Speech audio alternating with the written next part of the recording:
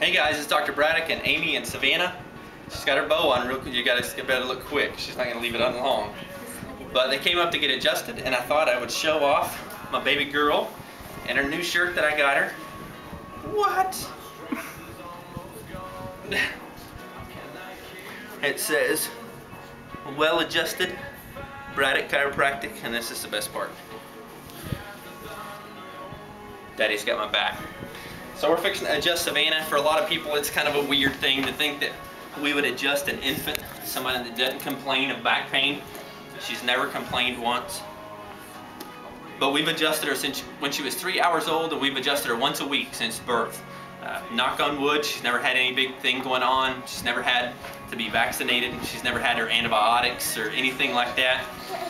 She's just happy, healthy baby. So we've been really blessed. The adjustments we do on infants are really gentle.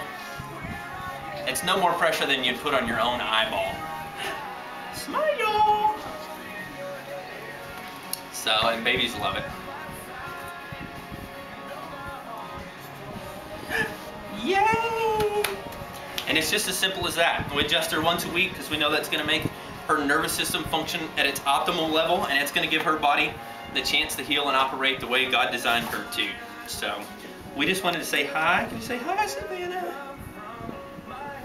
And you guys don't get to see Amy or Savannah all that much, so we just want to shoot a quick video and let everyone say hi. You gotta give them a big smile. Oh, that's right. See you guys in your next visit.